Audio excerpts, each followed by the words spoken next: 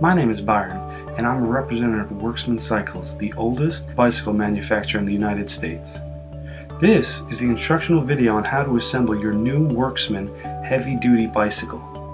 Before beginning, keep in mind that if you're confused, it would be wise to have a bicycle technician assemble the bicycle for you. Also, it would be wise to look through the owner's manual for safety and maintenance instructions. I will be moving pretty quickly, so feel free to stop the video after each step to ensure proper assembly. Let's begin. The first step in this assembly is to attach the fender to the front fork. This is done by unscrewing the nut on the front fork and simply placing that bolt through the bracket on the fender and tightening the bolt securely.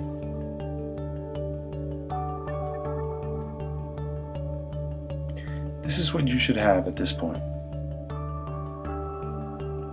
The next step is attaching the front fork to its wheel. To do this, we must use the axle attachment case, which includes one axle, four washers, two nuts, and two retention clips. First, find the wheel axle and thread on an end nut. Next, slide on two washers and then slide the whole axle through the fender arm.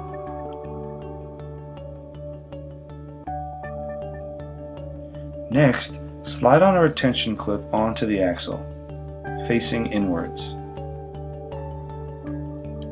Next, slide that axle through the wheel hub, ensuring that the fork is sitting on both ends of the axle. Slide on the same components in the opposite fashion on the opposite side of the wheel.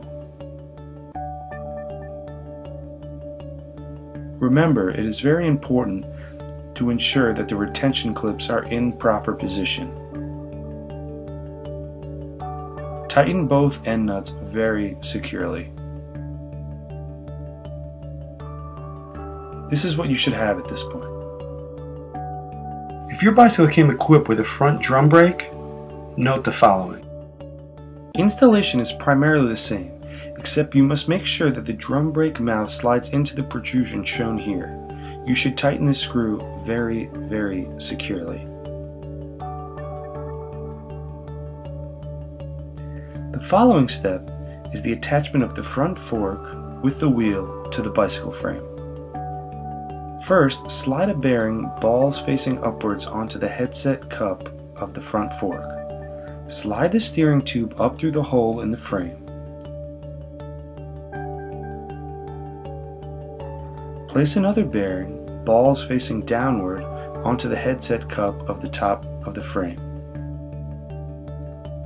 Next, thread on an adjustment cone all the way to the bottom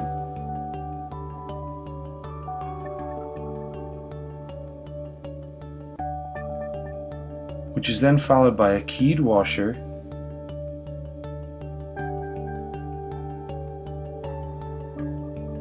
a regular washer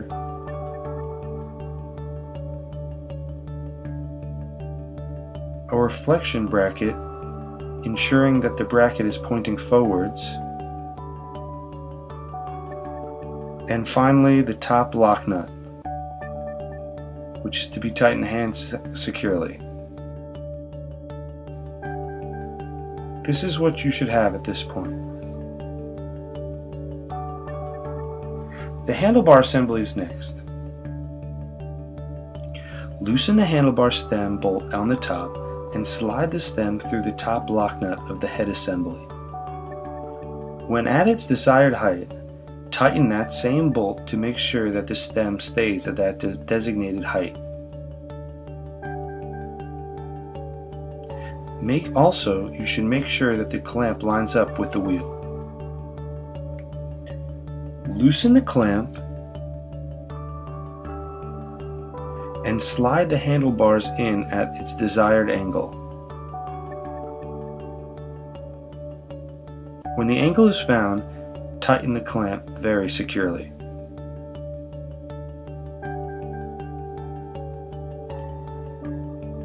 Next, slide on the handlebar grips on each end of the handlebar.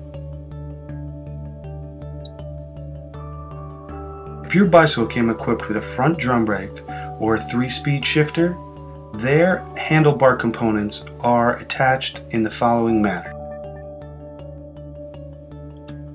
Both brake levers and gear shifters are attached in the same way, with the bracket system seen here.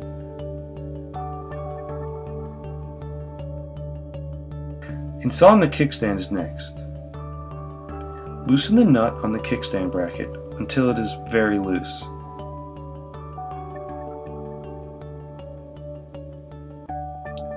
Place this bracket in the gap behind the crank ensuring that the kickstand is pointing outwards and tighten very securely. Installing the pedals comes next. Each of the pedals is marked with an L or an R denoting what side of the bike they belong on. The R pedal fits on the right side, the sprocket side of the crank arm. The L fits on the opposite side and is tightened in a counterclockwise direction. Finally, attaching the seat comes last. Flip the seat over and loosen the clamp on the bottom. Slide the seat post into the bottom of the clamp and find your desired angle.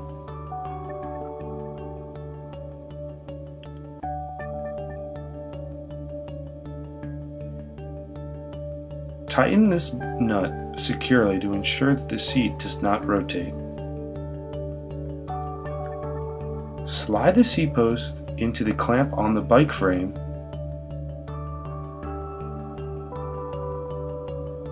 and place at your desired height. Tighten the clamp nut very securely.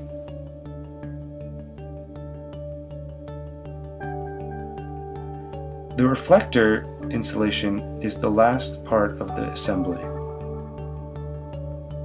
The white reflector goes on the front of the bike, while the red is on the rear.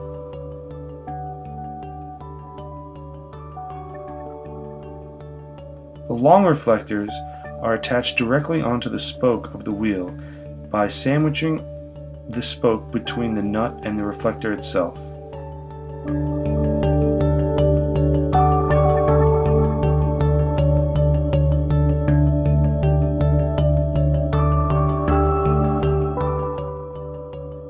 That concludes the instructional video on how to assemble your new Worksman heavy duty bicycle.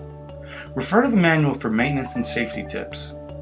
If you have any further questions, feel free to call us at 888 3 Wheeler or email us at cycles at worksman.com. We hope you're as proud as we are to be riding on one of America's real treasures, the Worksman Industrial Cycle.